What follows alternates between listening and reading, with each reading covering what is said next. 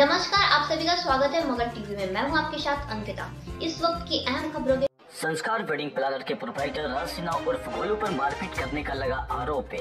छोटू light के proprietor Sohrab Ahmad उर्फ़ छोटू ने कहा कि बकाया पैसा मांगने पर हमारे साथ बुरी तरह से मारपीट की गई है। वेडिंग का काम करवाकर संस्कार इवेंट के राज सिन्हा ने पैसा भी नहीं दिया। और उल्टी मारपीट भी की है। अपने कई समर्थकों के साथ गया के गांधी मैदान बुलाकर मारपीट की गई है। वहीं पर मीडिया के समक्ष सोहराब अहमद उर्फ़ छोटू ने गुहार लगाई है कि मुझे न्याय दी जाए। पुलिस उन सभी लोगों को पकड़कर एक्शन ले। आइए देखते हैं मीडिया के समक्ष पीड़ित छोटू लाइट के प्रोपराइटर सोहराब अहमद उर्फ़ छोटू ने क्या बतलाया। काम करने से पहले बोले कि भैया, हम टूटे हुए इंसान हैं और हम उस लायक नहीं है कि हम, मेरे पास उतना पैसा रहता है। हम काम करेंगे भैया हाथ जोड़ के बोलते हैं हमको पेमेंट दे दीजिएगा। किस चीज़ का काम करते हैं और लाइट का काम भैया हम करते हैं डेकोरेशन का। और बोधी रिसोर्ट में हम काम किए थे और राज सिन्हा उर्फ़ गोलू नाम है और उसका संस्कार वेडिंग प्लानर के नाम से उनका चलता है।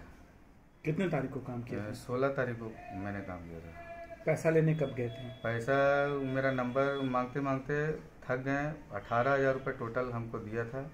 कितने में सत्तर हज़ार रुपये में मांगे थे पहले, काम का टोटल का।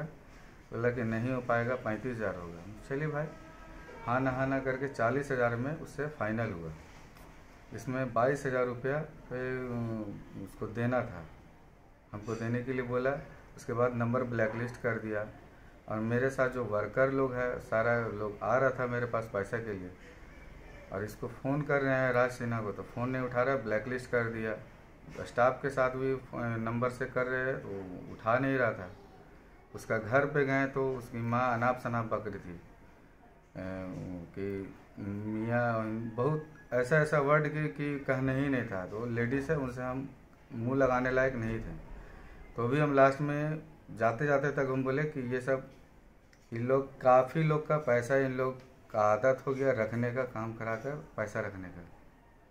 और ये लोग वही आदत है, काम कर लिए और उसके बाद फ़ोन उठाना बंद हो जाता है। और उसके बाद हमको ये अमित, उनका दोस्त है, बुलाए हमको बहला फुसला कर गांधी मैदान।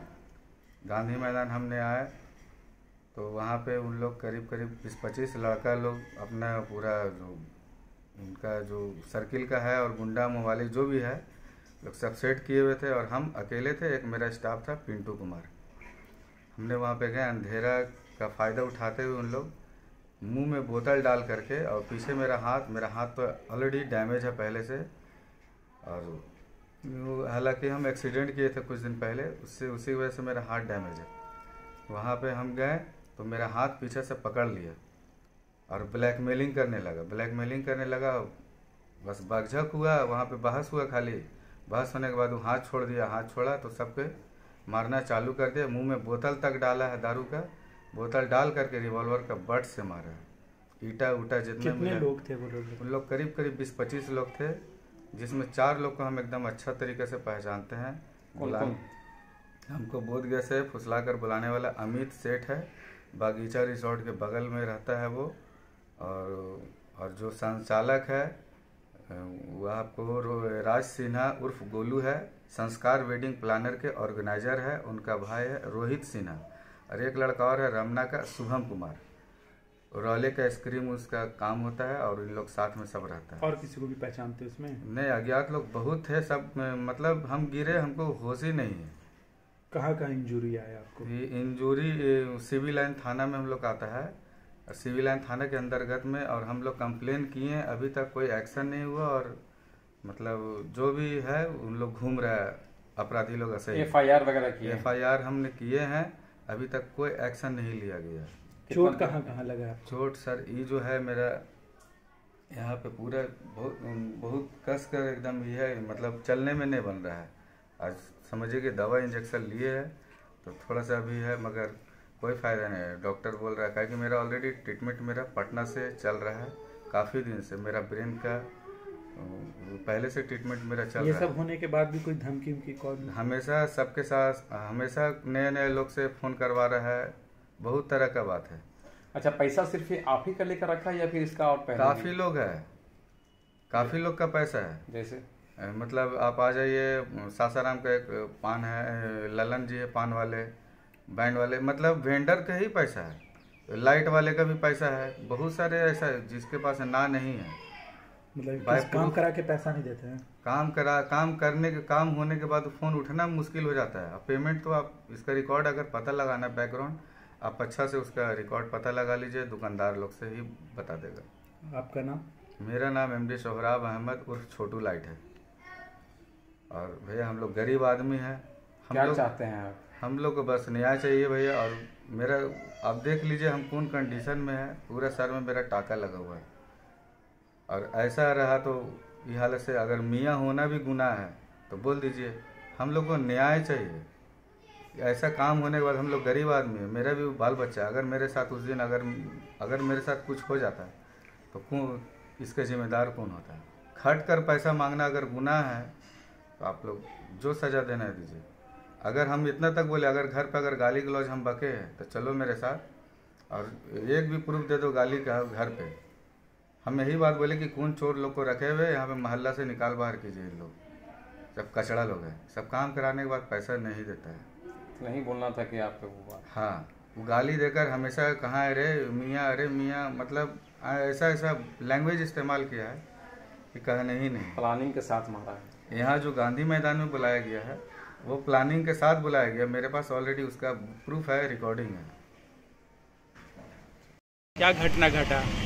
जी हम लोग राज सिंघानिया के यहाँ काम किए थे लाइट वाले सर कौन कौन? अ, हम और छोटू छोटू लाइट हाँ। तो काम हुआ सत्तर हज़ार में जिसमें अठारह हज़ार हम लोग को मिला था।